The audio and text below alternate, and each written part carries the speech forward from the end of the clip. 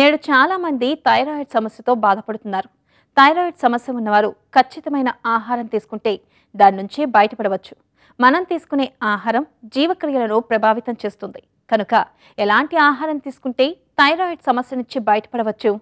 Thyroid సమస్య ఉన్నవారు ఎలాంటి ఆహారం తీసుకోవాలో ఇప్పుడు తెలుసుకుందాం.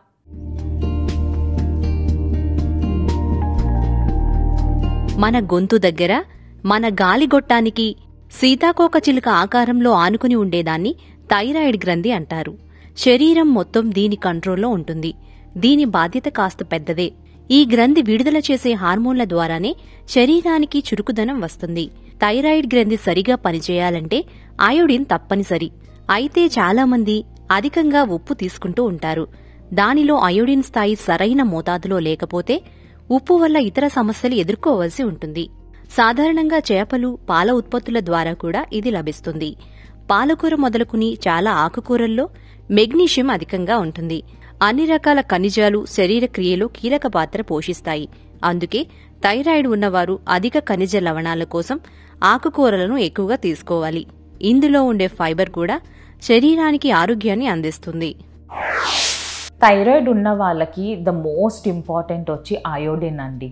వాళ్ళ డైట్లో కరెక్ట్ అమౌంట్ ఆఫ్ అయోడిన్ ఉంటే థైరాయిడ్ గ్లాండ్ పనితనం కూడా చాలా బాగుంటుంది. సో అందులో కూడా మనం టేబుల్ సాల్ట్ ఏదైనా యూజ్ చేస్తున్నామో అది అయోడైజ్డ్ ఉంటే చాలా బెటర్. సో దాంతోపాటు గ్రీన్ లీఫీ వెజిటేబుల్స్ కూడా థైరాయిడ్ పనికి చాలా యూస్ఫుల్ అవుతుంది. సో అందులో ఉన్న మెగ్నీషియం వల్ల థైరాయిడ్ రిలీజ్ చేయాల్సిన హార్మోన్స్ కూడా కరెక్ట్గా రిలీజ్ అవుతూ ఉంటాయి.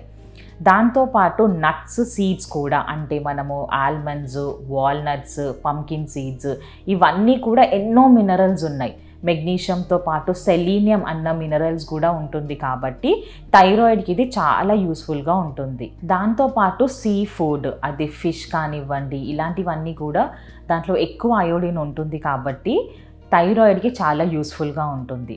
Broccoli cabbage cauliflower. ఇలాంటి వెజిటేబుల్స్ కొంచెం తక్కువ మోతాదులో తీసుకోవాల్సి ఉంటుంది. అందులో కాయిట్రోజన్స్ అనేటివి ఎక్కువగా ఉంటుంది కాబట్టి.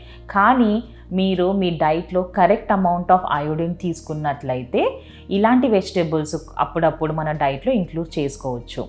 దాంతోపాటు సోయా ప్రోడక్ట్స్ కూడా సోయా చంక్స్ కానివ్వండి soya meal maker soya milk ఇవన్నీ కూడా జనరలీ అవాయిడ్ చేయమని చెప్తూ ఉంటారు. మీరు ఎక్కువ మోతాదులో తీసుకున్నట్లయితే వాటిని తగ్గించండి. లేదా మీ డైట్లో కరెక్ట్ అమౌంట్ ఆఫ్ అయోడిన్ తీసుకుంటూ అప్పుడప్పుడు మీరు సోయా ప్రోడక్ట్స్ తీసుకున్నా సరే ప్రాబ్లం ఉండదు. చేపల్లో ఒమేగా త్రీ ఫ్యాటీ యాసిడ్స్ ఎక్కువగా ఉంటాయి. సెలీనియం కూడా ఎక్కువగా ఉంటుంది. Omega three fatty acids LDL కొలెస్ట్రాల్ను తగ్గించేందుకు ఉపయోగపడతాయి. అలాగే సెలీనియం థైరాయిడ్ హార్మోన్ను పెంచేందుకు తోడ్పడుతుంది. తాజా ఆకుకూరలు కూరగాయలు పండ్లలో ఖనిజాలు ఎక్కువగా ఉంటాయి. వీటిలో విటమిన్స్ ఆమ్లజనకాలు ఫైబర్ ఎక్కువగా ఉంటాయి. హైపోథైరాయిడిజంతో బాధపడుతున్న వారు వీటిని రెగ్యులర్గా తీసుకుంటూ ఉండాలి. ఫ్యాట్ తక్కువగా ఉండే పాలు చీజ్ వంటివి ఎక్కువగా తీసుకుంటూ ఉండాలి. వీటిలో అయోడిన్ సెలీనియం ఎక్కువగా ఉంటుంది. ఇందులోని అమైనో యాసిడ్ టైరోసిన్ హైపోథైరాయిడిజంపై బాగా పోరాడతాయి. థైరాయిడ్ హార్మోను స్థాయిలను ఇవి పెంచుతాయి. గుడ్లలోనూ అయోడిన్ ఎక్కువగా ఉంటుంది. థైరాయిడ్ను తగ్గించేందుకు ఇవి చాలా మేలు చేస్తాయి. కొలెస్ట్రాల్ అధికంగా ఉండే గుడ్డులోని పచ్చసొన తినకుండా ఉండటం మంచిది. ఆలివ్ నూనెతో చేసిన ఆహారాలు తీసుకుంటే మంచిది. థైరాయిడ్ హార్మోన్ స్థాయిలను పెంచడానికి ఈ ఆయిల్ బాగా ఉపయోగపడుతుంది. అలాగే ఆలివ్ నూనె శరీరంలోని ఎల్డిఎల్ కొలెస్ట్రాల్ను తగ్గిస్తుంది. గ్లూటెన్ కూడా చాలా మందికి ఉన్న క్వశ్చన్ థైరాయిడ్ ఉన్న వాళ్ళు గ్లూటెన్ ఉన్న ఫుడ్ తినొచ్చా తినకూడదా అని.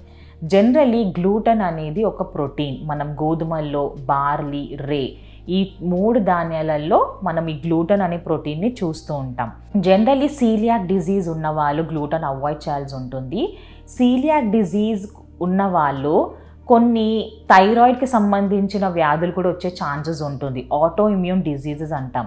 సో హషిమోటో గ్రేవ్స్ ఇవి రెండు కూడా థైరాయిడ్కి సంబంధించిన డిజీజెస్ సో సీలియాక్ డిజీజ్ ఉన్న వాళ్ళు ఈ రెండు హషిమోటో గ్రేవ్స్ డిజీజ్ వచ్చే ఛాన్సెస్ ఉంటుంది కాబట్టి వాళ్ళు గ్లూటెన్ ఉన్న పదార్థాలు అవాయిడ్ చేస్తే చాలా మంచిది.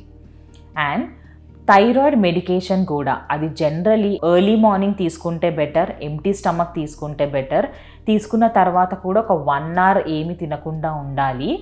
అండ్ దాంతోపాటు థైరాయిడ్ టాబ్లెట్స్ తీసుకున్న వాళ్ళు కాల్షియం అండ్ ఐరన్ సప్లిమెంట్స్ టుగెదర్గా తీసుకోవద్దు. అంటే కొంతమంది ఐరన్ కాల్షియం సప్లిమెంట్స్ వాడుతున్నట్లయితే థైరాయిడ్ టాబ్లెట్ కలిపి తీసుకోకండి. రెండు గంటలు గ్యాప్ ఇచ్చి దాని తర్వాత ఐరన్ కానీ కాల్షియం సప్లిమెంట్స్ తీసుకోవచ్చు. బ్రెజిల్ నట్స్లో మినరల్స్ సెలీనియం ఎక్కువగా ఉంటుంది.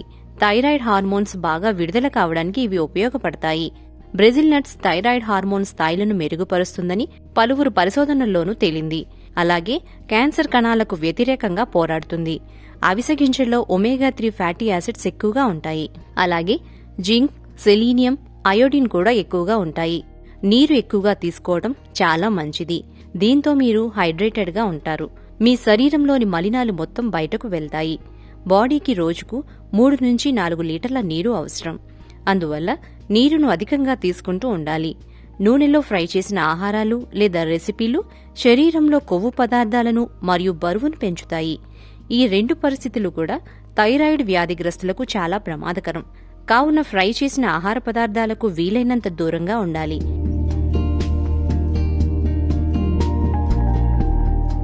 చూసారుగా?